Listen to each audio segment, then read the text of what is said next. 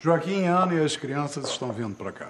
Eu vou fazer uma boa comida para ela. Ai, Ana deve estar tão feliz. Tá, Dalva, vamos arrumar os quartos logo. Sim.